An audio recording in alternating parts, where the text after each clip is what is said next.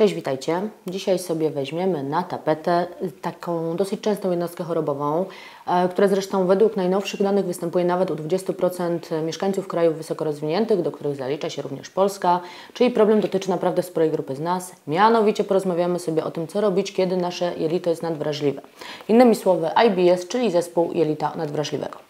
E, zespół jelita nadwrażliwego, mówiąc prosto, mm, to są wszelkiego e, rodzaju dolegliwości ze strony przewodu pokarmowego. E, czy są to bóle brzucha, czy są to wzdęcia, czy są to zaparcia, czy też postać mieszana, bo jest duża grupa pacjentów, która czasowo cierpi na biegunki, później pojawiają się zaparcia, także te problemy są takie bardzo zmienne, nieusystematyzowane. Mm, to wszystko generalnie klasyfikujemy pod pojęciem zespołu jelita nadwrażliwego, jeżeli nie towarzyszą tym właśnie dolegliwościom odczuwanym przez pacjenta żadne zmiany organiczne w przewodzie pokarmowym. Czyli oznacza to, że nie ma żadnych zmian nowotworowych, żadnych stanów zapalnych o takim dosyć mocnym nasileniu, polipów, gruczolaków, celiaki, żadnych zmian organicznych. Czyli pacjent teoretycznie, jeżeli chodzi o przewód pokarmowy, jest zdrowy, a mimo to cierpi na bardzo ostre dolegliwości. I zakłada się, że one wynikają właśnie z takiej swoistej nadwrażliwości naszego przewodu pokarmowego na czynniki zewnętrzne. Stąd właśnie nazwa zespół jelita nadwrażliwego. E, tak naprawdę diagnozę zespołu jelita nadwrażliwego stawiamy na podstawie kryteriów czwartych rzymskich, a dokładnie stawia ją lekarz. E, kryteria czwarte rzymskie mm, są to właśnie takie wytyczne, jak rozpoznawać czy potwierdzać występowanie chorób czynnościowych przewodu pokarmowego. I według najnowszych kryteriów czwartych rzymskich z 2016 roku nowym bohaterem zespołu jelita nadwrażliwego została mikroflora jelitowa, czyli innymi słowy mikrobiota albo ekosystem jelitowy ponieważ w tym, mówimy, w tym momencie mówimy już o tym, że zespół jelita nadwrażliwego to jest zaburzenie funkcjonowania osi jelitowo-mózgowej ze szczególnym uwzględnieniem zaburzeń mikroflory jelitowej. A co to dla nas oznacza praktycznie? Że modyfikacja tą mikroflorą jelitową, która w IBS-ie jednak jest e, bardzo często u wielu pacjentów zaburzona, może nam przynieść wymierne korzyści w postaci poprawy stanu zdrowia czy łagodzenia tych dolegliwości, które odczuwamy. Słuchajcie, kiedy lekarz stwierdzi zespół jelita nadwrażliwego? Mówiąc prosto, w momencie, kiedy występuje u nas ból brzucha, przynajmniej raz w tygodniu i występuje on przynajmniej przez ostatnie 3 miesiące, z początkiem dolegliwości na 6 miesięcy przed postawieniem rozpoznania. I ten ból brzucha musi spełniać przynajmniej dwa z trzech kryteriów. Mianowicie, powinien występować w trakcie wypróżniania i lub e, powinna mu towarzyszyć zmiana konsystencji naszego stolca czy zmiana frekwencji, tak, częstotliwości wypróżniania. I wówczas rzeczywiście lekarz na podstawie e, spełnienia tych objawów plus innych, e, że tak powiem, objawów występujących u pacjenta, które są ustalane w trakcie dokładnego wywiadu lekarskiego, jest w stanie postawić diagnozę zespół jelita nadwrażliwego. Problem niestety z tym zespołem jelita nadwrażliwego jest taki, że po pierwsze ma on bardzo niejednorodną manifestację, bo spójrzcie, z jednej strony mamy pacjenta z zaparciem, z drugiej strony mamy pacjenta z biegunką. Jeden i drugi będzie wrzucany, mówiąc nieładnie, do tego samego wora z zespołem jelita nadwrażliwego. Tymczasem trzeba tutaj bardzo mocno dostosować sposób postępowania, dietę, suplementację, sposób wdrożonego leczenia, żeby i pacjent A, i pacjent B notował wyraźną, wyraźną poprawę.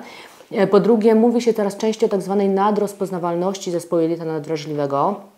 To znaczy pamiętajmy o jednej bardzo niepokojącej rzeczy, że właśnie biegunki, że bóle brzucha, że cofanie treści pokarmowej, czyli refluks żołądkowo-jelitowy, e, że wzdęcia, gazy i inne dolegliwości strony przewodu pokarmowego, jasne, mogą być objawem zespołu nadwrażliwych jelit, czyli gdy nasze jelita reagują za mocno na czynniki środowiskowe, np. stres, dietę, E, czy stosowane używki, ale z drugiej strony bardzo analogiczne objawy dotyczą niestety chorób znacznie poważniejszych, tak jak przykład choroba nowotworowa, nieswoista choroba zapalna jelit, e, choroba refluksowa żołądka dwunastnicy, choroba wrzodowa w wyniku infekcji Helicobacter pylori.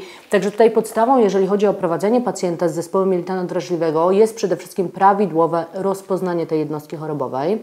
W związku z powyższym, rzeczywiście, jeżeli lekarz ma jakiekolwiek wątpliwości, czy to jest czysty zespół jelita czy też u pacjenta mogą współwystępować inne jednostki chorobowe, bądź te objawy, które pacjent notuje, czy wymienia, mogą być spowodowane przez jakieś e, poważniejsze uszkodzenia, wówczas na pewno mm, pacjent będzie kierowany na taką bardziej inwazyjną diagnostykę, mianowicie są to zabiegi endoskopowe, czy gastroskopia, badanie górnego odcinka przewodu pokarmowego, czy kolonoskopia, badanie dolnego odcinka przewodu pokarmowego. I to są niewątpliwe złote standardy, jeżeli chodzi o diagnozowanie czy odróżnianie zmian czynnościowych od organicznych, gdzie przypominam, IBS jest zmianą czynnościową, a te poważniejsze choroby traktujemy jako zmiany organiczne, bo rzeczywiście mają jakąś organiczną przyczynę w przewodzie pokarmowym. Natomiast ja tutaj zwracam uwagę na możliwość posłużenia się również markerami stanu zapalnego, a to jest diagnostyka bardzo nieinwazyjna. Polega ona na tym, że na podstawie badania jednej pojedynczej próby kału możemy tak naprawdę ocenić, czy w naszym przewodzie pokarmowym coś się dzieje, czy jest on po prostu nadwrażliwy. Takimi markerami, które służą do oceny istnienia stanu zapalnego w przewodzie pokarmowym i dzięki temu dosyć skutecznego odróżniania IBS-a od innych chorób organicznych, a nie o podłożu czynnościowym, jest chociażby doskonale uznany marker kalprotektyna, jest też marker e, laktoferyna, e, kinaza pirogranianowa głuza typu drugiego, czyli M2PK. To są te markery, które rzeczywiście z powodzeniem możemy wykorzystać do nieinwazyjnej diagnostyki przewodu pokarmowego. E, my w Vitaimun wykonujemy je oczywiście dosyć powszechnie u naszych pacjentów, ale są to ogólnie markery dość powszechnie dostępne w wielu laboratoriach. Warto uzupełnić również tą diagnostykę nieinwazyjną, taką bardzo wstępną, bo pamiętajcie, na podstawie tych markerów nie możemy sobie samodzielnie postawić rozpoznanie mam IBS-a, bo markery wyszły mi ujemne, czyli nie są podwyższone, albo markery wyszły mi dodatnie, dzieje się coś gorszego i sami sobie diagnozujemy jakąś, e, jakąś poważną jednostkę chorobową. Otóż nie, one są tylko takim screeningiem, tylko takim rozpoznaniem wstępnym, który służy jako wstęp do dalszej diagnostyki. Natomiast wartościowym uzupełnieniem tych wymienionych przeze mnie markerów będzie z, pewnością ocena krwi utajonej w kale. Natomiast pamiętajmy też o tym, że krew utajona w kale, najczęściej wykonywana, najtańsze jako takie badanie przesiewowe, samodzielnie nie powinna służyć e, jakiemukolwiek screeningowi przewodu pokarmowego. Dlaczego? Przede wszystkim nie jest to badanie wystarczająco czułe i swoiste, bo weźmy pod lupę na przykład chorobę nowotworową, czyli nowotwory jelita grubego. Otóż nie wszystkie nowotwory krwawią, a niektóre krwawią tylko okresowo. W związku z powyższym, jeżeli powiedzmy mamy pacjenta, który rzeczywiście ma nowotwór jelita grubego, ale on nie krwawi, no to się rzeczy krew utajona nie wyjdzie dodatnia i pacjent żyje sobie w niewłaściwym przekonaniu, że tak naprawdę nic się nie dzieje.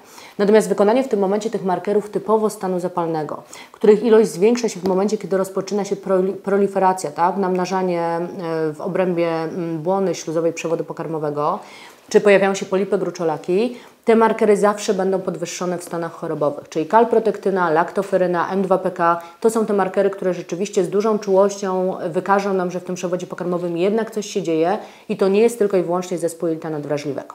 Także tutaj ta diagnostyka byłaby podstawą, natomiast y, od razu zaznaczam, że ja mówię tylko o tym w celu informacyjnym, bo tak naprawdę tego typu postępowanie diagnostyczne jakby nie było powinien prowadzić lekarz. Ok, czyli mamy zdiagnozowanego IBS-a, co robimy dalej? Mm, jeżeli chodzi o środki dostępne w łagodzeniu objawów IBS-a, no to nie ukrywając, są to środki, które wpływają przede wszystkim na poprawę motoryki przewodu pokarmowego, regulację perystaltyki jelitowej. Natomiast to jest bardzo często łagodzenie tylko i wyłącznie objawów, a sięgnijmy troszeczkę bardziej do przyczyn tego zespołu jelita nadwrażliwego. E, my akurat zajmiemy się tutaj tymi elementami, którymi się w Vita Immun zajmujemy, czyli mikroflora jelitowa i nadwrażliwości pokarmowe wynikające z uszkodzenia bariery jelitowej. To jest o tyle istotne w zespole jelita nadwrażliwego, że u większości pacjentów niestety zaburzenia mikroflory jelitowej są diagnozowane mm, i to jest dobra wiadomość, ponieważ wdrożenie odpowiedniej probiotykoterapii bardzo ładnie wpływa na poprawę stanu zdrowia pacjenta, bardzo ładnie wpływa na łagodzenie dolegliwości.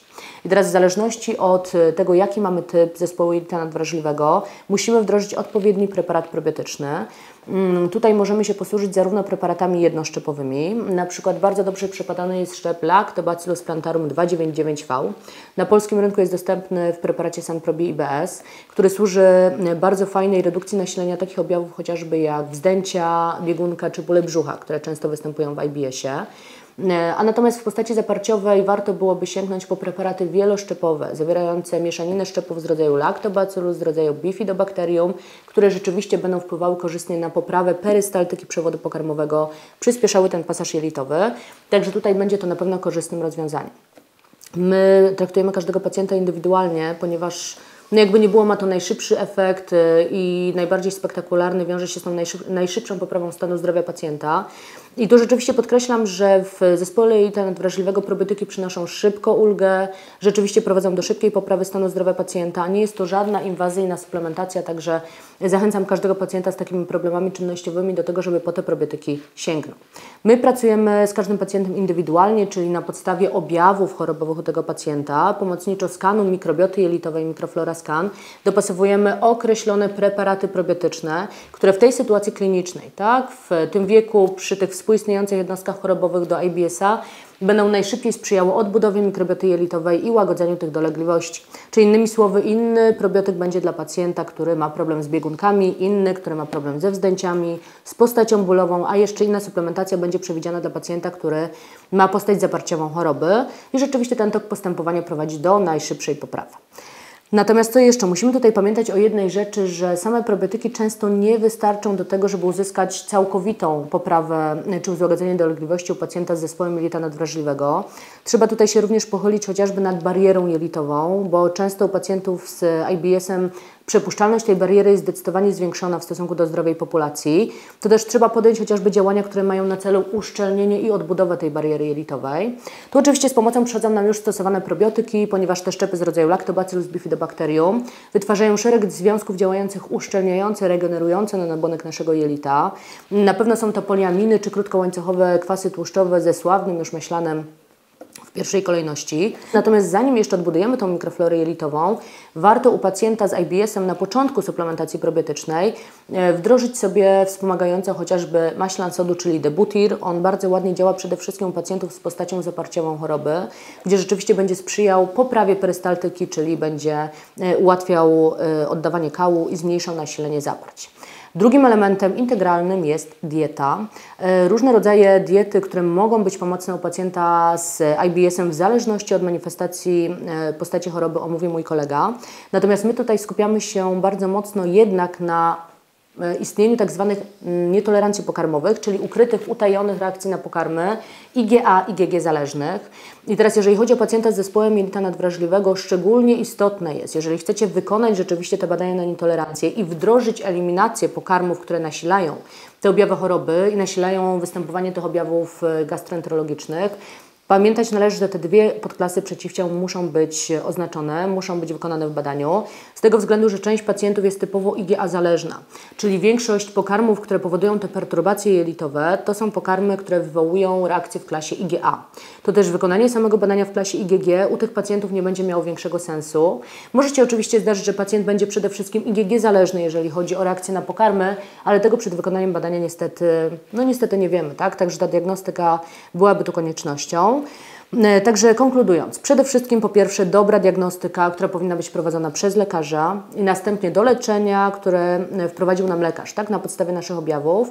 E, możemy mm, dorzucić sobie taką suplementację pomocniczą probiotyczną, przy czym na całym świecie już w tym momencie uważa się, że odbudowa mikroflory jelitowej za pomocą probiotyków powinna być integralnym elementem postępowania u pacjenta z zespołem jelita nadwrażliwego, na co wskazuje tak naprawdę sama nazwa choroby, czyli zaburzenie osi jelitowo-mózgowej ze szczególnym uwzględnieniem zaburzeń mikrobiomu jelitowego jelitowego. Drugim krokiem na pewno powinna być dieta eliminacyjna dopasowana do pacjenta na podstawie badań e, ukrytych reakcji pokarmowych IgA IgG zależnych, bądź ewentualnie inne protokoły żywieniowe, ale tak jak wspomniałam, o tym zaraz opowie Państwu mój kolega Łukasz Sieńczewski. Także tyle z mojej strony, jeżeli chodzi o tą pierwszą część na temat zespołu jelita nadwrażliwego. Bardzo dziękuję i zapraszam do oglądania kolejnych filmów.